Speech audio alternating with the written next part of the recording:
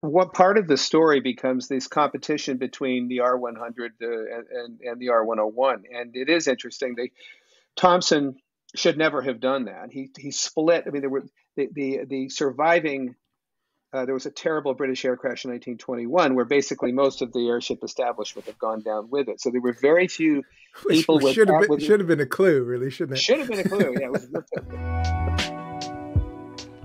Welcome to the Damcasters, brought to you in association with the Pima Air and Space Museum. I'm your host, Van The R101 is one of those, I'm going to say it, great Imperial Follies. Don't at me for that one. There's been enough about it already. I'm not a fan of the R101 tale, but that's going to make up our entire episode this week as we're joined by the fabulous S.C. Gwynne, whose new book, His Majesty's Airship, is all about the men behind the creation of one of the largest air vessels ever completed, built, the whole shebang here in the UK, just outside Bedford at Cardington. Now, Sam is an author who I've been really looking forward to talking to because this other book of his, which is called Empire of the Summer Moon, all about Quanah Parker, is one that I've lent to people before I've had a chance to read and never gotten back. So the one I'm waving around, if you're watching this on YouTube, is the third time I've bought it. So I'm going to get stuck into that as well. And that's where we have to start because before we get into his Majesty's airship, I have to ask him what led him to make the leap from his usual haunts of the United States in the 19th century to come over here to Britain and a massive bag filled with hydrogen. Like I said, Empire of the Summer Moon has been on my reading list for ages, and I guess a lot that sort of framed a lot of your work being 19th century Americana, I suppose. How does someone who's spent a lot of their career with quite well repute with your work as well. How do you come to write about an airship in mid-century Britain? Because that seems a bit of a leap. Or was it intentional to do something that different after a few books in?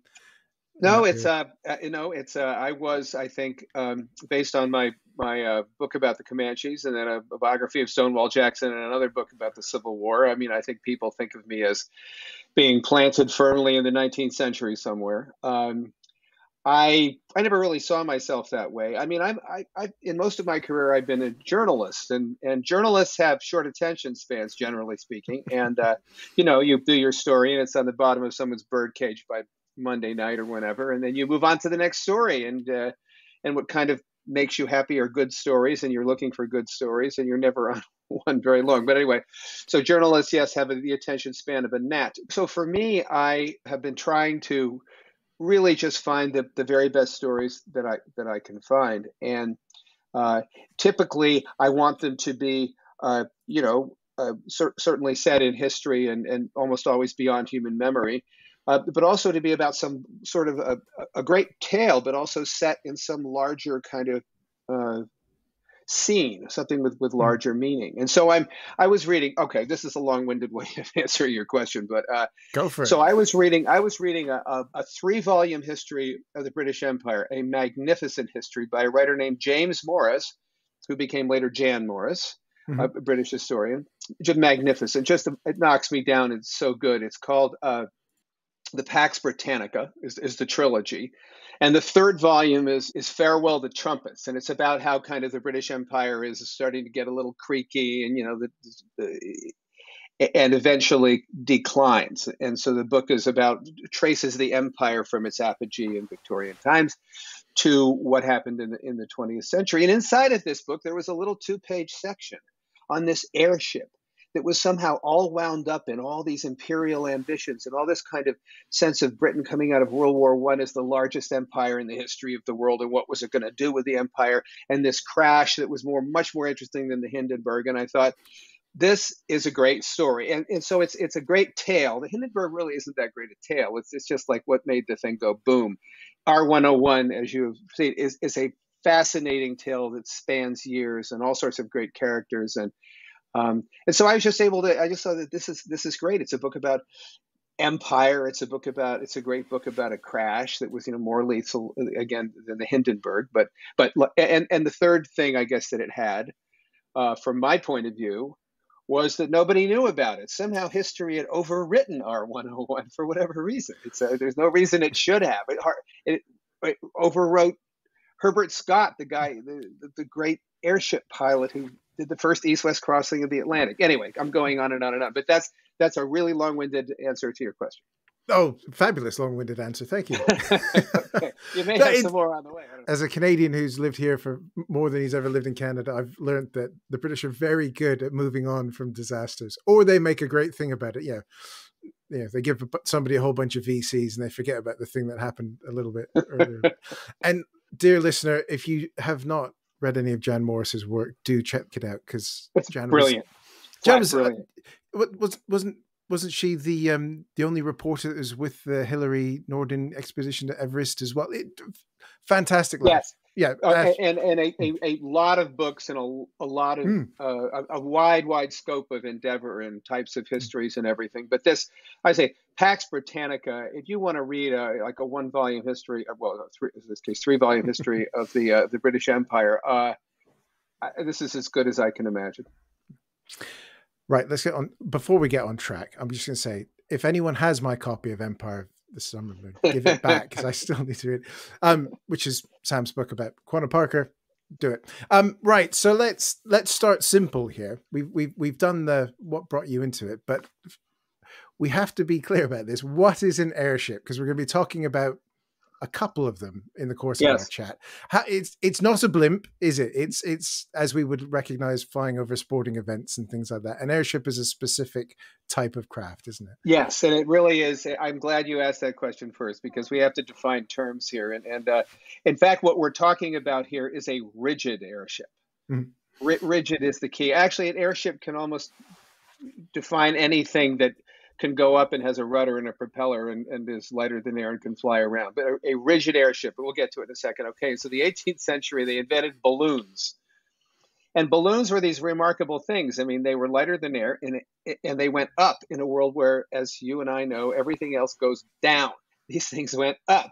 Kind of amazing. Wow, it goes up. And uh, the problem with if you put hydrogen or hot air in a balloon, it would kind of go wherever the wind or God wanted it to go. And uh, they were great as military observation, you know, vehicles, but they weren't very good uh, for much else because they would just go where they want. Anyway, in the in the uh, 19th century, the, the French improved this by uh, by by basically putting right a, a propeller and an engine and a and a and a rudder onto a balloon and this became kind of the first airship because it was steerable. And the word in French for to be able to, to steer or direct is diriger.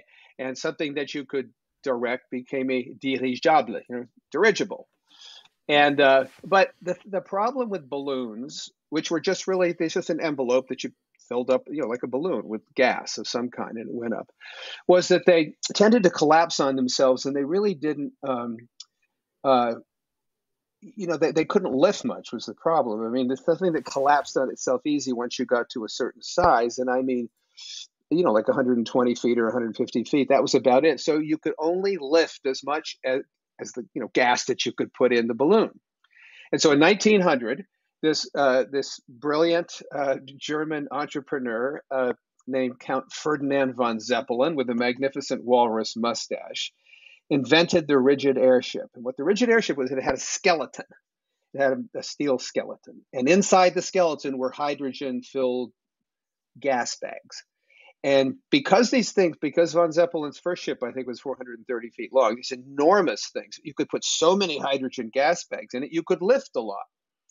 And this was the absolutely groundbreaking, you know, uh, piece of technology in the in the Zeppelins. So starting in in 1900, you have the advent of the rigid airship. They were all big. They got eventually to more than 800 feet long. Um, the German airships of the 30s, like the Hindenburg, and just and you know again they because of that they could they could lift a lot of whatever it was you wanted to lift. You know, people, cargo, or uh, in the case of uh, the Germans, bombs. I think that answers your question. Anyway, but that oh, and I should say that if we if we look at the blimps that fly, like the Fuji blimp or the Goodyear blimp or whatever the blimps that may be, um, those are really they're, they're they're not rigid. They don't have a steel structure. They may have a keel that's rigid, but they're really just it's a balloon, an envelope filled up with, in this case, helium, uh, that allows them to, be lighter than air and, and float. But they're not one of the things. If you look at one of the blimps that flies over Wembley or flies over whatever they're flying over in American football games, baseball games, and so forth, they're they're not that big. That's because they're constrained by the fact that they don't have the rigid skeleton. So when you think of uh, when people think of the you know the most famous airship, and the one everybody knows about, Hindenburg, uh, it, that is a giant. That, that is exactly what a, a, rigid airship is. It's a it's a giant steel structure filled with hydrogen. And they enter the public consciousness because they're just the most amazing things because they're the almost the main character in H.G. Wells's War in the Air as as well, aren't they? They're the, they're the thing that terrorizes. It's um, a terror weapon. Britain. Yeah, and then remarkably, as Wells tended to get things right, that's exactly what happened in the First World War. These things started trend, trundling over, and they they capture imagination in a way that probably outsizes their actual usefulness, doesn't it? That is a really good observation because the question just persists with airships is why they were kind of a bad idea and why did they persist so long? But there was something about them, you know, that they were they were these large things. And as you said, so when when von Zeppelin invented them, he didn't intend for them to be uh, uh, passenger airships or cargo airships. I mean, he had one and only one use for them, and that was uh, as weapons and uh, that was all he wanted to do. And he was very much in step with the, the times in, in Germany as we approached World War One. Uh, in fact, there was a I quote in my book a song that German school children were singing in 1913, I think, and it was "Fly Zeppelin, fly." You know, fly to England. England shall be destroyed by fire. You know, cute little German kids. Anyway, point being that there was a martial a martial sentiment in Germany at that time, and and and uh, and so Zeppelins. In, people forget about this. People think of you know London being bombed by the Luftwaffe in World War II and everything, but the first long-range bombers, the first weapons of mass terror, were Zeppelins unleashed by Germany against seven European cities, uh, mostly against uh, England, um, and in and they these were just they were entirely designed to be weapons. They were weapons. They didn't work very well as weapons, but uh, that really changed the world. And it introduced it in in a lot of ways, or actually outright, it induced uh, introduced humankind to the notion that it could be annihilated from above by something other than a thunderbolt. Know, first time that had ever happened. And as you said, just the size of them, when some 680 foot German Zeppelin came droning over London at 2 a.m. I mean, this was, you know, this was just absolutely nothing that anybody had even imagined before. Big, noisy, and slow. Yes, that, that's always my takeaway from those stories. yes, yeah, and and and as as we as yeah everybody knows about airships, they're they're designed to be these weapons of war, but they're filled with massive amounts of highly explosive gas. Yeah, so you, you here's what you have to add to your your configuration: big, noisy, and slow and which is great if you're a British fighter plane. Oh, but we add the fourth thing, which is oh yes, and they're filled with hydrogen. it's like like let's let's play video games. One incendiary bullet from a, a, a British fighter in 1916, 17. I mean, we just imagine the Hindenburg. That's what it does. Hmm. Quite satisfying if you're the fighter pilot. Yeah, and Oh, that, that that's that's another podcast. Yeah, the the, the strange VCs that are awarded for shooting down zeppelins. It's uh, yes, they're, they're fantastic. Anyways, let's let's start getting into our, our sort of characters here because they they leave this, like we were saying, oversized memory, isn't it? Because there's an expectation of these things being these incredible marvels of German engineering. But what you do in the book so well is talk about how rushed they the zeppelins actually are they they they get progressively less engineered as they go along don't they but the british have this idea of as as we all do a german engineered marvel and they exit the war thinking that this is the way forward isn't it It is, in spite of the fact that so many of the German Zeppelins went down. I mean, they went mm-hmm. down through from you know, fighter incendiary bullets from fighter planes. They crashed in their, they burned in their sheds. They crashed into the channel. They were blown to God knows where. I mean, they were, they were very difficult to navigate. They were easy to shoot down, and they were lousy as weapons. But still, in World War One, Britain saw them Britain saw them as technology that they couldn't get, and they tried very, very hard to get it. They tried to emulate the Germans, but the Germans had a, a, a good lead. I mean, a really good lead on them. And so when the British built an airship, what they do is they they go find a downed Zeppelin, and they they kind of they they'd crawl all over it with the engineers, and they would sort of figure out do the best they could to figure out how it worked, and then they would engineer it up. And but by the time they put that airship into the air, they were several years behind the Germans. And the Germans, if that airship could fly at 10,000 feet, two years later, by the time the British had it, the Germans could fly at 20,000 feet or had bigger engines and more lift. And so Britain spent spent all of World War One trying to catch up and never got an operational. They were they intended to use them mostly as scouts, but they never really got an operational uh, airship, rigid airship.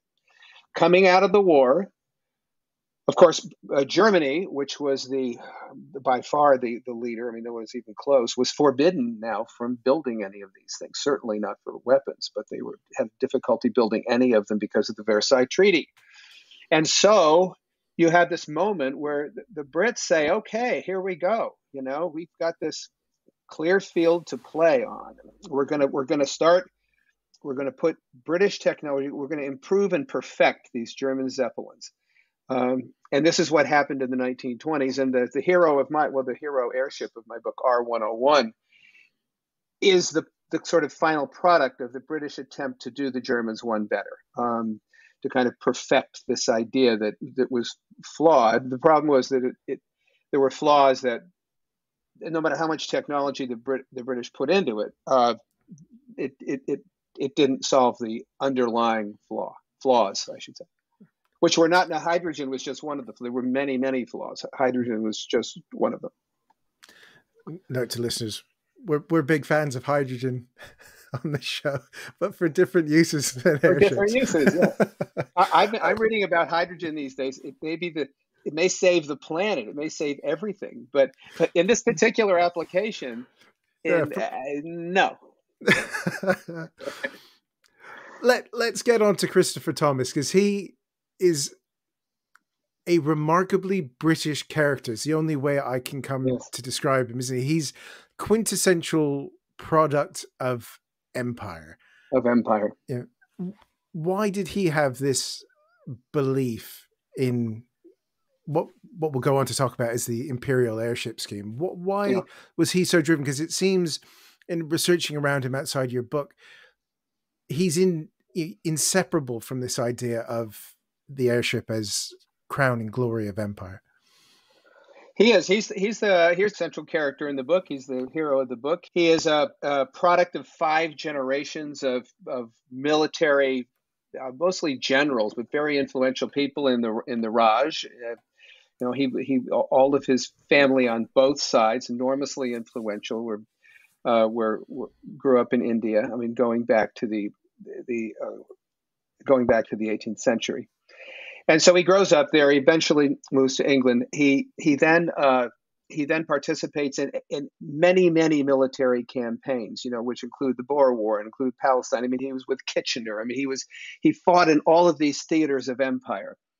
Uh, and so we have this guy who, uh, even though very quite interestingly, he, he's a socialist. He he he joined the first Labor government, uh, Ramsay MacDonald's government, but he was still very very much a, a man of empire, and which is appropriate because uh, he was the man who, who had the vision that drove essentially R101 into the ground eventually. But the, the original vision was to populate the, the, skies of the world, which was largely a British world, with British airships using British technology a kind of a restoration in some ways too. You know, when you think of the British Empire in the 19th century, you think of the, the pounding piston, you know, the grease piston, and just the tech, technological ability. They could build guns and they could build machines and locomotives and boats. I mean, better than anybody else. And empire power resisted, I mean, rested on this. And uh, and to some extent, the vision that Thomson, Christopher Birdwood Thomson, had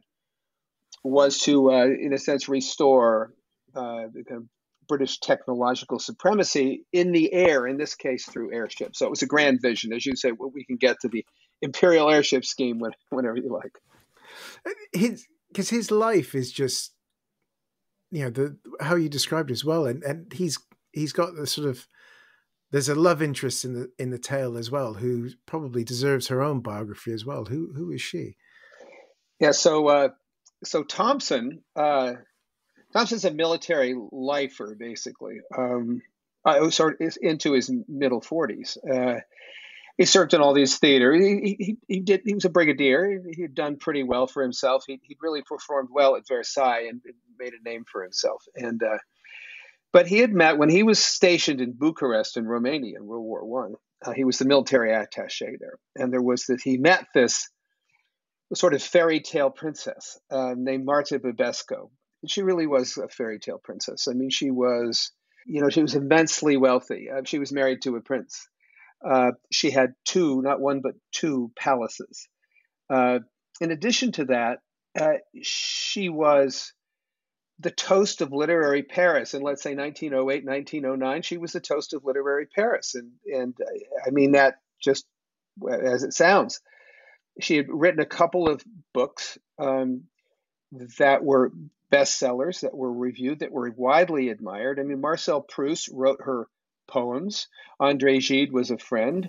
I mean, this was this was the gang that she was rolling with. So we have this fairy tale princess who's immensely immensely wealthy and has palaces in Bucharest and oh, sorry in Romania, and is the toast of literary Paris. And Thomson, who has you know he's a very cultivated guy. He speaks five languages and he's he's um, he's not just a soldier of empire. He's much more sort of he's not sort of just some you know soldier guy. He, he is. Uh, unusual in, in, the in the variety of his interests. So he falls in love with, and to some extent, for the rest of his life, or the rest of his life, becomes the tale of how he's trying to impress Martha. And of course, as a military lifer, when he the years after he meets her, she's having affairs with, you know, the editor of the largest French daily, and the, this the most eligible bachelor in France, and the king of you know Germany, and uh, you know, and, and princess. This is who she's interested in and so the book becomes so as as Thomson's ambition sort of vaults forward, it's Martha is very much wrapped up in this right right to the end. It's it's kind of a great love story behind the the tale of doomed ambition. I called him Thomas. I don't know why I called him Thomas. Thomson. Thomson. Oh, yeah, yeah. close enough. Yeah, near, near, near, Lord, Lord, Lord Thomson of Cardington. This is really interesting. So you can, you can, you know, you get to be a lord, right? If you're mm. Kitchener, you can choose to be Kitchener of Khartoum. Yeah, all right. That's oh, yeah. pretty good. Yeah, it's, you can do it's that. Half, well, it's half the fun of getting the gig. Yeah. Yeah, right. So, so, so Lord Christopher Birdwood, so Christopher Birdwood Thomson is made a lord by Ramsay MacDonald, and I think it was in order that he be able to be in the House of Lords. I guess that's the rule. Mm-hmm. But anyway, he uh, he chose th- this gritty well, so we have Bedford, right, about an hour mm-hmm. north of London, and then this kind of gritty industrial suburb just south of Bedford, you know, called Cardington, which is where, which is the center of the British airship universe. And he chose to be lord of a gritty little industrial suburb of Bedford. Kind of interesting. Let's get on to the Imperial airship scheme because that's why he chooses Cardington. Because Cardington yeah. sheds, which is still there, there's they're, there. they're they're making an airship in there at the moment. Yeah, it's it's that was where that was where Warner Brothers owns them, and mm. and Batman was filmed there. Yeah, and I was in one of the walking around, and some of the set stuff is still stacked back there. Anyway, uh, yeah, it gets a little surreal. It's oh, it's fab. Um, again, different podcast. Um, yes, so the Batman connection. Oh yeah, yeah. yeah. yes, that that's oh, we could digress beautifully there. um, the Imperial airship scheme is is the thing that Thomson nails his his colors to, and his his whole political career is is is around this. What was it? Because this is when we when we think of you know aircraft being produced today, yes, we think of subsidies and and and the like, but in this case, this was an entire government, which, let's be fair, was broke, throwing whatever treasure they had behind this scheme of building not one, but two of the most supposedly advanced airships the world had ever seen. Yes, in a way that, would, that was in their intention to change the world. So, to understand the imperial airship scheme, you have to understand what the world looks like to Great Britain as we come out of World War One. As I said, it's very interesting because the even though Great Britain had was had had taken a major hit to its power, to you know, when coming out of the war, its naval power supremacy was not unquestioned anymore. It was governed by a formula that said how many you know ships you can mm-hmm. build and and there were cracks in the empire. You know, there were you saw you could just see them adding up. The Boer War, and then there was the Irish Rebellion, and then the rebellion in Iraq, and and of course what was happening in India. India was seething with with discontent. But coming out of World War One, still, uh, Britain had the largest empire in the history of the world. They had taken a lot of the properties of the old Ottoman Empire, some from Germany. They had, you know, the, the, famous British color, you know, the British maps with the red color. I mean, you could see it connecting up all around the world. A quarter of the world's population was was within one way or the other between commonwealths and dominions and colonies and everything else, the British Empire. And so this was the reality. And and so men of empire who still believed in empire began to dream of some sort of new way to think about their empire. And what what ended up happening was a uh, what what what started. I think the first reference to an imperial airship scheme was 1922, but by 1924, when Christopher Birdwood Thomson becomes the Secretary of State for Air, which is over all military and civil aviation, by this point, you know, it's uh, it, it, has evolved. And here's here's the idea. Here's what the Imperial Airship Scheme was. It was an attempt to link the far-flung, increasingly far-flung pieces of the British Empire, and so we to, together through this medium of the air. At that point in history, it was not settled yet whether airplanes or airships were going to be the long range travel. Airplanes have long range means of travel. You know, airplanes had real trouble on long trips. I mean, a trip to India was 12 bone rattling days and 26 stops. I mean, it, through the heats of Iraq. And I mean, it was not a lot of fun. So pe- people thought, you know, Lindbergh notwithstanding, you know, that the, the, the airships uh, could possibly be the long range travel. Anyway, the, this, this idea, the imperial scheme was to populate the world with British airships that were going to fly from, you know, Sydney to London and South Africa to London and Egypt to, you know, from London to New York or Toronto and back. There was going to be this just connecting up the pieces of the British Empire. And why was this significant? Well, the most, the largest significance, I think, could be understood by anybody, understood by anybody, which is that. So, at this point, it took for let's say for the the premier of Australia, uh, British Dominion, to get to from Sydney to London. Uh, a month. That was a month. Airship could do it in 11 days. Uh, from London to Karachi, almost 12 days. Airship could do it in four days. I mean, you're talking two and a half days across the Atlantic. It's not because airships were so fast, it was because they didn't need to land. So they fly at 60 or 70 miles an hour, 24 hours. And so if you're going from London to Karachi, you stopped once in Ismailia, Egypt, and one refueling, and you could make it, and you could make it very, very quickly. And this completely changed in the minds of the people who invented the airship scheme, Lord Thomson chief among them. This changed the whole world, right? Space and time, the whole everything gets redefined if you're the and the empire becomes much much closer together. You know, 11 days versus a month to Australia, for example. And so uh, this was the idea. But but beyond that, though, it was so you're, you're going to have these airships flying back and forth, you know, pa- passing each other on the routes of empire. But more or as important as that, though, the technology that was going to dominate this new version of long range travel was going to be British. And that is what R101, the hero airship of my story, was. R101 was, and its sister ship R100, were Christopher Birdwood Thomson's uh, attempt to use this new to improve the old German technology with the British technology and demonstrate that you could fly these things back and forth safely from places like India, you know, which was still, you know, within the British Empire and ruled by the British and had 300 and, you know, 20 million people in it. Uh, this was going to change the world. They thought they were going to change the world. We're going to take a quick break so that we can get the latest from the Pima Air and Space Museum with Head of Collections, Andrew Bowley.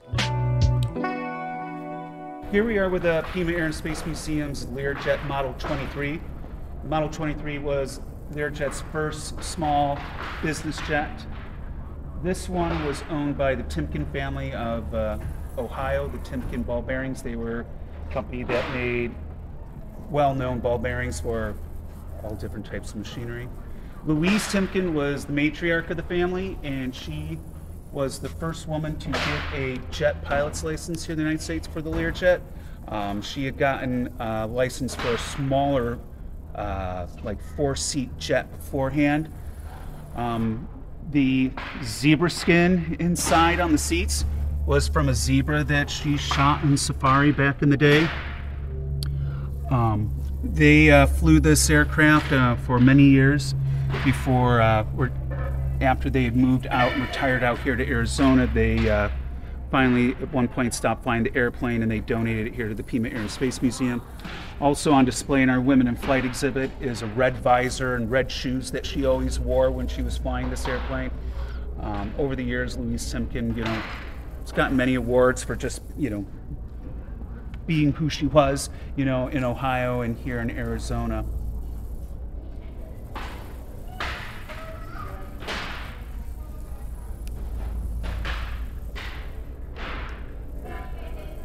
To learn more about what is on display and what events are coming up at the Pima Air and Space Museum in Tucson, Arizona, please do check out their website at www.pimaair.org. And now, back to the show.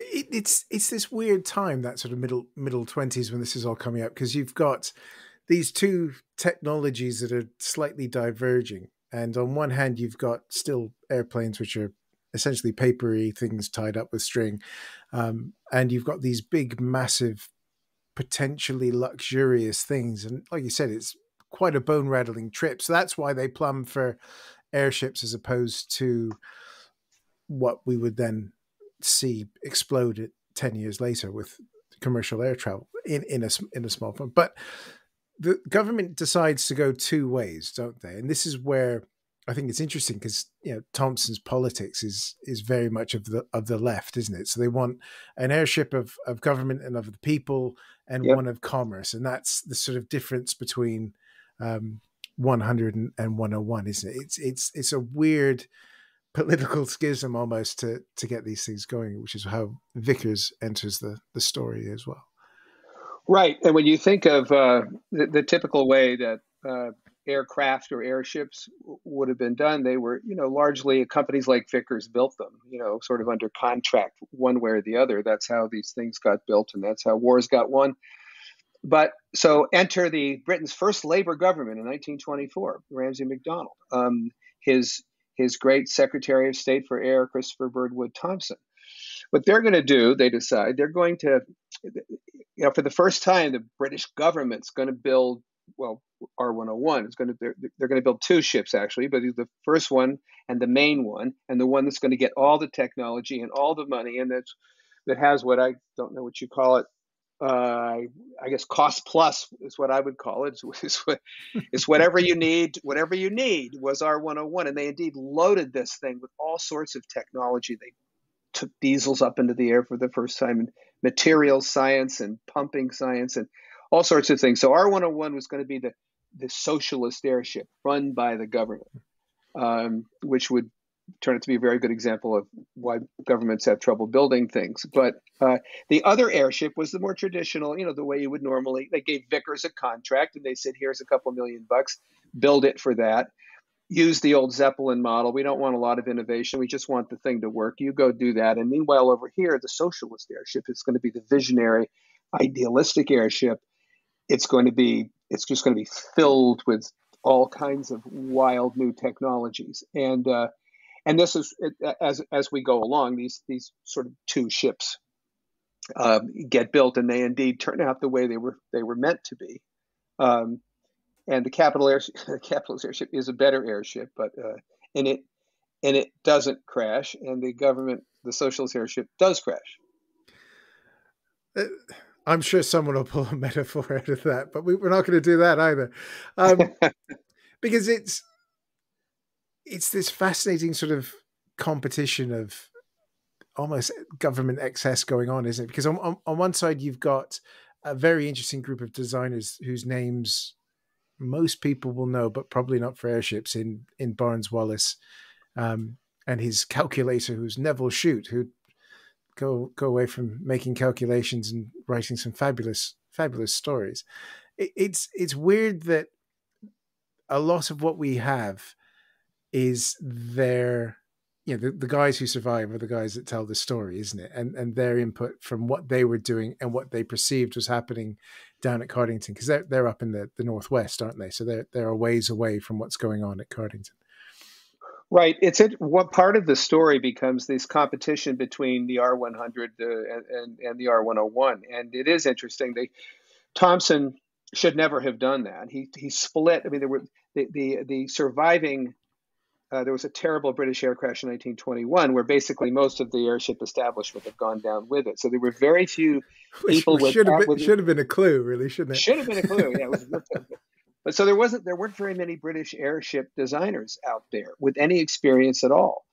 Uh, and and by splitting all the, the talent, if you will, between the R100 and the R101, uh, you know, they they in effect, I think, doomed R101. So the, the the person with by far the most skill and talent, and who is in fact a legendary um, uh, uh, engineer, a British engineer, Barnes Wallis, ends up with and his assistant Nevil Shute end up on the R100, and they have major grudges against the R100. There's no cooperation at all. Nobody returns phone calls, so to speak. They don't. They're they're. It, it becomes a real a real problem, and I'd say the first of many many problems that beset uh, this airship as they try to make it. I mean, there were a lot of problems in the building of it uh, and in the trials of it, but it started with uh, you know, the, the, man who should have been running that project was Barnes Wallis, and there should have only been one airship.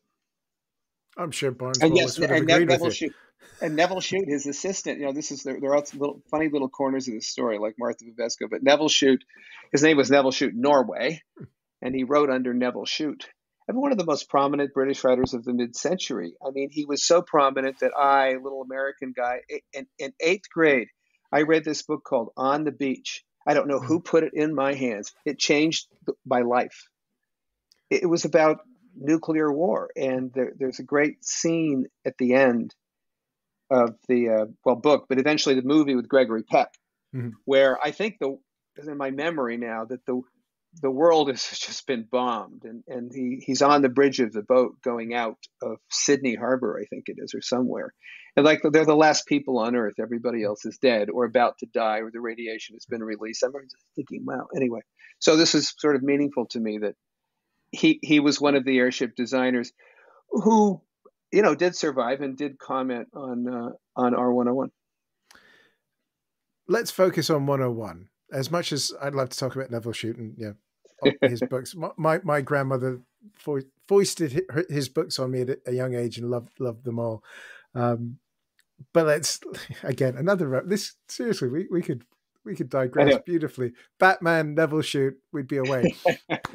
um, R101 in itself becomes very quickly I hate to use the term over engineered because it crashes. So clearly it was, but it to make it work, they keep having to try new things, but then also strip stuff out of it to to make it work. Because the calculations to make an airship fly are very very finite. It's, it's hydrogen plus weight, and then that gives you your altitudes and things. So you you describe it a lot better than I just did in your book. But to make R101 work, they have to make some remarkable compromises, especially considering what they're making it out of.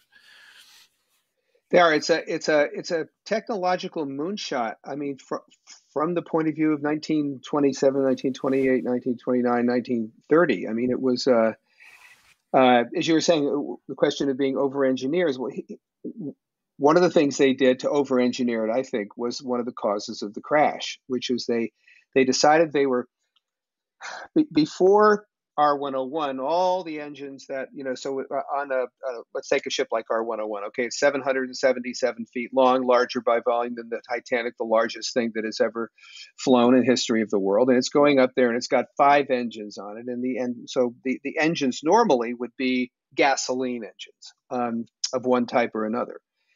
Um, but because this ship was flying over the tropics, or you know the the the the thought was that gas fumes were flammable, and therefore you didn't want something flammable sitting right beneath. I mean, these engines are slung beneath the the envelope of the airship. You didn't want something like that there because you know you've got 5.5 million cubic feet of hydrogen sitting just above you. In fact, this was a, a false fear. I mean, it was it was an unfounded, not a false fear. It was an unfounded fear. Um, so, but but to address this and to make you know this, there was a Titanic-like attempt to make uh, this airship uh, well, the equivalent of unsinkable. Um, as Thomson said, as, as safe as a house, but for the millionth chance. I mean, something that just couldn't crash. They really thought that they were doing this. And one of the ways they were doing this was they took diesels from locomotives and they put them up into the air into these engine nacelles that would drive the engines of R101. Now, and the reason was because the the uh, heavy oil or diesel didn't have a or had a very I guess what you would call a high flash point, right? It, it didn't. Hmm.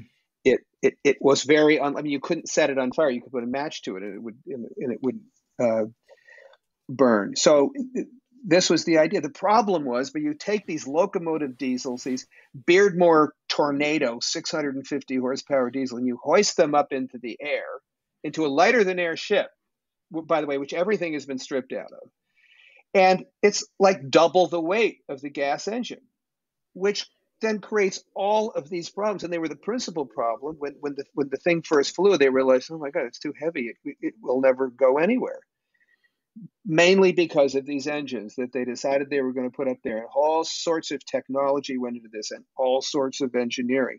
And it was, it was in fact, uh, it was a mistake. It was over engineered, caused the airship to be too heavy, and necessitated all sorts of re engineering, which then created their own problems. But there were so many engineering problems on this thing. It's so many organizational screw ups, it's hard to know where to start. It's page after page of you know, as as a business analyst, it's like case study after case study of, yes, of how not to run a run a project. And it's I, I, I love your descriptions of how the plush lounges and and uh, rooms on board are essentially veneered balsa wood because they, they can't have mahogany and things on it because it's too heavy.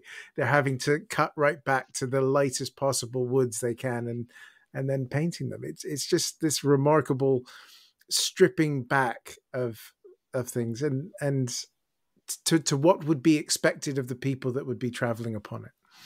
Yeah, it was. Uh, so they tried. They put everything on the ship. That was the idea. Everything conceivable thing. Some, somebody at the uh, this wonderful dirigible magazine, you know, put a uh, put together a, a, diagram with all the arrows pointing to all the new the wild new technologies that they put in and things that had never been done before. So they had this, you know, elaborate dining hall, you know, that looks is, is meant to look kind of like a Pullman car or like an admiral's quarters in a steamship. In fact, it's all balsa wood and linen. It's it's nothing. I mean, in ultralight aluminum. They have a, a lounge. They have a a promenade. Uh, you know, with a, with a with a, a big window, a big cell window that you can you can look at. That they have a a smoking lounge in a in a ship filled with 5.5 million cubic feet of hydrogen gas.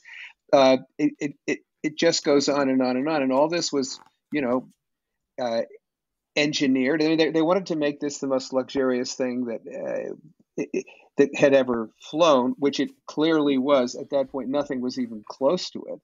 Um, it was still not as luxurious as uh, as you know, like a, a Cunard uh, air, uh, ocean liner, mm. because you, you just couldn't, you know, as you say, hoist mahogany up there. But uh, all of these things, all of these technologies were put in. I mean, they, the, the, gas bags on this thing were 10 stories high. Imagine a cheese wheel 10 stories high that is made out of cattle intestines that holds 550,000 cubic feet of hydrogen. And these things were held in place inside this 777 foot long airship by these incredibly innovative parachute harnesses that no one had ever done before. Again, engineered to the max. As it turns out, they, they failed to keep the bags from grating against the girders and getting holes in them, lots of thousands of them, which then leaked hydrogen. And anyway, there, were, there was so, uh, uh, you know, I don't want to, I, it seems like I'm singling out uh, Great Britain here for technological flaws. Airships were deeply, deeply flawed things from the very beginning. And hydrogen was just one of them, enormously vulnerable to wind, weather of any kind. They were just, they were a bad idea. And it took 40 years for people to realize they were a bad idea. And, and, and that was that. But the, the you know the, the Germans were the ones who invented it, and the Americans absolutely got on board, and they all pretty much lost all their airships to crashes. Um, so there was a, uh, the Americans were very much in the technological race in the 20s. Um, they were building helium-filled airships, which everybody thought, hey, for helium, that what could possibly go wrong, right? Well, look at a terrible record of crashes. Three really, well, three really bad ones that were entirely built and engineered by the Americans. So everybody, everybody had, you know, and as far as hydrogen fireballs go, there were 75 of them. I mean, you think of the Hindenburg as wow, that's a well, that's wild, that's crazy, that's incredible. No, it happened all the time. And the only reason you and I don't know about that is because there wasn't that 30 seconds of film that changed the world. Everybody in every movie theater in the world saw the Hindenburg go up in flames in 1937, which, by the way, was seven years after the R101 went up in this in a similar hydrogen fireball. It's it's wonderful madness. It's it's a line I use quite a bit when when when talking about mar- marvels of the air that that are strange. You know, it's the the way you capture the sort of almost internal politicking of we need to make all these changes, but we can't tell anyone we're making these changes because we've got to make the trip to, to Karachi. It's it's weird. It's the book is fantastic. It's it's imperial politics, high engineering, and you're just sitting there going, "Don't stop, everybody." Yeah. it's it's it, oh. it's a book. It's a book. You know, at some point, I this sometimes this happens to me when I'm writing. Is you know, I'm I think I'm writing about something. In, in this case, the crash of an airship and and uh, this man's dream of the imperial scheme, of which it is the poster ship. Uh, for which it is the poster ship. But I mean, sometimes in the middle of things, and it happened here, I realized that what, yes, I'm writing about an airship crash, but what I'm really writing about is human folly. Hmm. Um, and it's it's widely shared. I say it, it, this was a flawed idea, you know. And if you go back, and it's a wonderful madness. I love the term. It's like you go, if you look in the say the the aughts or the teens or something, you had these early years of both airships and aircraft, and they're crashing all the time. Both of them are. And I think what it's like, who? I mean, I, I'm not getting on that thing. I mean, I my my personal feeling is no. You you go ahead and and fly the experimental prototype biplane or the Hercules trimotor to see if it works. Yeah, I, I just I'll, I'll, wait here, okay. And the same thing with airships. They were there was a, a there's a time when the only way technology progresses is through madness. Who who's going to get on that thing? Hmm. I mean, R101 is an experimental prototype, and the, you don't uh, you don't put the, the a, a, cabinet secretary and the Britain's director of civil avi- aviation up in an experimental prototype. It's like it's fine if Chuck Yeager flies the X1 and tries to break the sound barrier, and we he's it's expected that he may die, and that's the ground rule, right? But you don't put the Secretary of Defense up in the rear seat hmm. when Chuck goes up which is what they did in R101. They should not have put those people in. At one point, Thomson Thomson was so confident he wanted to put a hundred MPs up at once, a substantial chunk of the people governing Great Britain, into this thing. Anyway, I'm going on. I'm pretty sure there's 100 MPs we could put on it today and everyone would be happy. Actually, it might be a good thing. it, it's, yeah, it, that period of, of time is just utterly fascinating because, you know, you've got this sort of explosion of aviation. You've got air races, flying circuses. You've got all these things where it's becoming more normal and these these grand steps as well and this you know e- even of its time it must have it must have felt slightly out of time that there was this grand thing happening and you know of course when it finally comes in there's it's in the middle of the the post crash times oh it's we're not going to keep we're not going to talk about the crash and things people you need to buy the book because it sam's done it sam's done a great job what now that it's been out for a while, I I grabbed my copy in New York in May, so I've I've, I've read it. This mm. is going to go out for the UK release as well. It's been out for a while. How do you feel about it?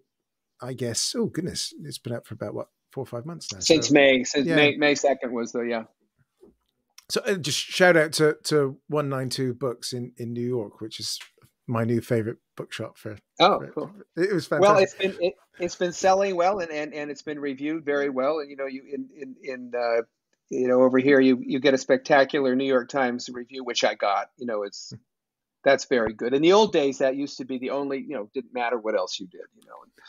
These days you you have to link up with the online world and, and, and the world that isn't just a publicist who's trying to get your story in the Chicago Tribune, which was the old way. That it isn't the new way. But I think it's been, you know, I was, I don't know, I, I my sense is that it's it's it, it, it, people are interested in it and people are talking about it, so that's good. I beyond that, I I can't control what happens. And you end up talking to random random guys on a podcast that. yeah, that's right. That's right. People in some foreign country that I don't even know where the foreign country is. Uh, someone in a foreign country who's actually thinking about your weather sounding quite nice. Because what is it? about 120 in Texas at the moment? Or? Yeah. So so to put it in in your terms, today it's hitting 42.2. Ooh. Okay. So and yesterday was 42.2 and tomorrow will be 42 and the next day will be 42 and the next day and going out as far as we can see so this is not normal. And uh, please, some dreary, wet British weather. Please, please send it to Texas.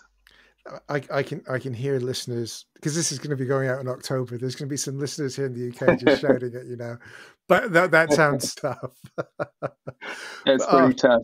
But um, speaking speaking of the UK, I mean, I was you know, part of the fun of this book was I started it right when COVID started. So, eh, you know, I, I use libraries, museums, and collections and things like that. And, you know, they're all closed to me globally.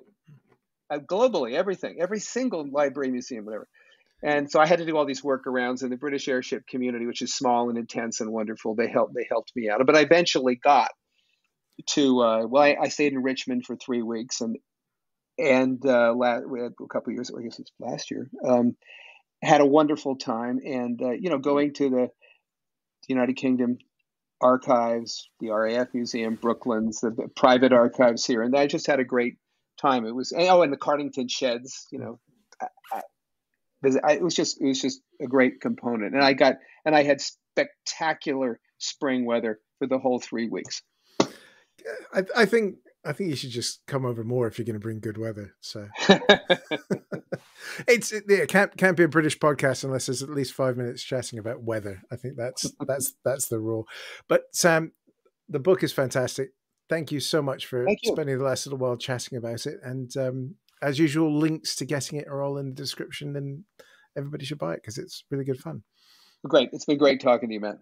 I can't thank Sam enough for joining us here on the Damcasters. I Love the book. I grabbed my copy back in May at the Fabulous 101 Books in New York. Read it in a couple sittings. And I'm delighted to say that it's out now in the UK, so you can grab it at all good and evil bookshops, including, not evil, but supporting the pod bookshop of our very own Damcasters bookshop on bookshop.org. Link is in the description below. 10% goes to support the pod, all that usual stuff. You may have heard my reticence about R101. But I think where we are now with airships and lighter than air vehicles is in an interesting place, especially with Airlander, which hybrid air vehicles are building up at Cardington right now. So watch that space on this. As always, thank you for your support of the pod. Tell your friends, pop some stars into the algorithm, like the videos, do all that sort of thing.